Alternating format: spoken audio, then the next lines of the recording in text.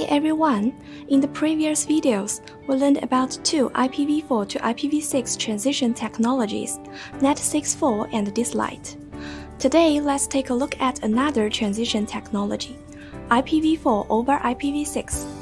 This technology connects local IPv4 networks over IPv6 networks. Why do we need IPv4 over IPv6? IPv6 has attracted wide attention because of its huge network address space, simplicity, and security. The transition from an IPv4 only network to an IPv6 only network takes a long time. The scale of IPv6 only network deployments increases toward the later stages of IPv4 to IPv6 transition, potentially resulting in some IPv4 islands. An IPv4 island is a network that is isolated from another IPv4 network by an IPv6 network. Connecting isolated IPv4 networks using private lines is costly, so tunneling technologies are often used. These technologies allow tunnels to be created on IPv6 networks so that isolated IPv4 sites can communicate with each other through IPv6 public networks. Such a tunnel is called an IPv4 over IPv6 tunnel. So, how is an IPv4 over IPv6 tunnel established?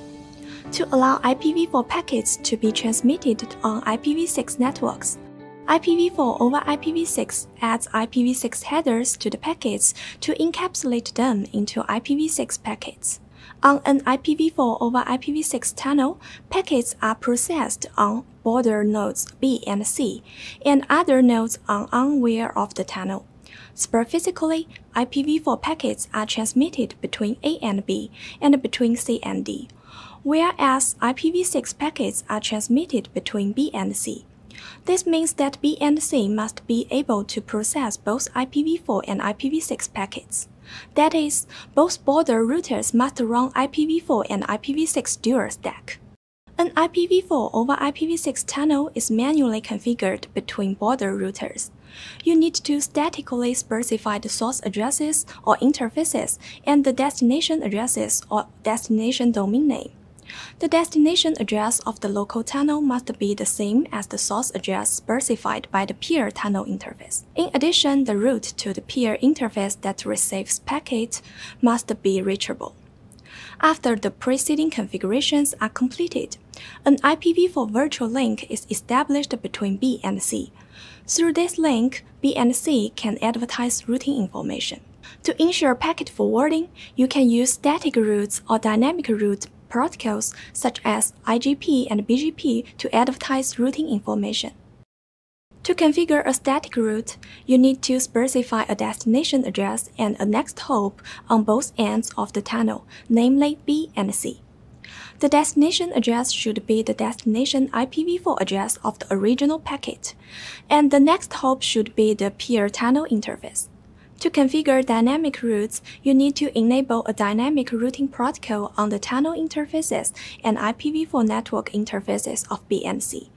BNC then use dynamic routes to advertise routing information and both establish IPv4 and IPv6 routing tables. Taking OSPF as an example, the IPv4 routing table of B contains routing information in which the destination address is D. The next hop address is the tunnel interface address of C and the next hop should be the peer tunnel interface. Next, let's look at how packets are forwarded over an IPv4 over IPv6 tunnel. IPv4 packets are transmitted through an IPv4 over IPv6 tunnel in the following phases. First, IPv4 packet forwarding. A sends an IPv4 packet to the border node B, with the destination IPv4 address being the IP address of D. Second, tunnel encapsulation.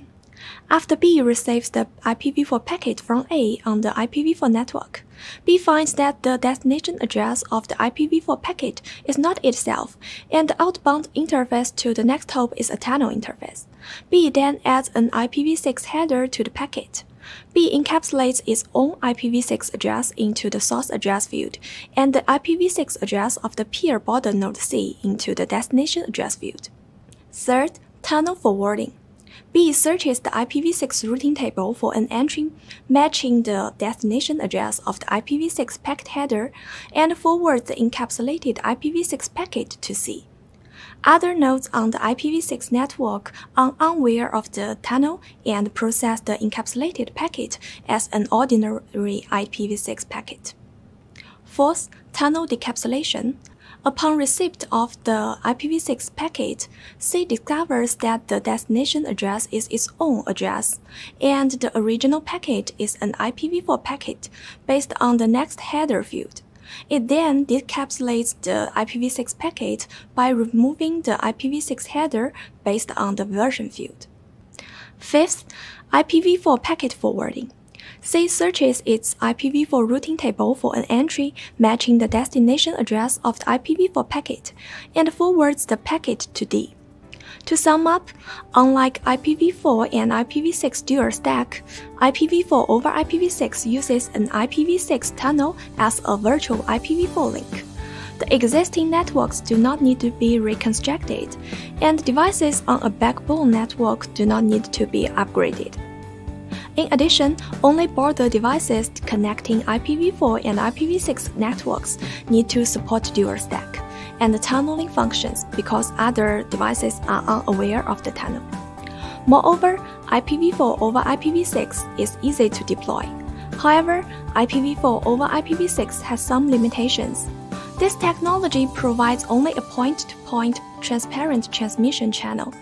In this case, IPv4 hosts cannot directly communicate with IPv6 hosts. Furthermore, menu configuration is required resulting in high network maintenance costs. And a large amount of tunnel data needs to be maintained, increasing network overheads and potentially affecting network quality. Fortunately, these problems are eliminated once the network evolves to an IPv6 only network. With the support of IPv4 over IPv6, we expect the transition to IPv6 only networks to be a quick process.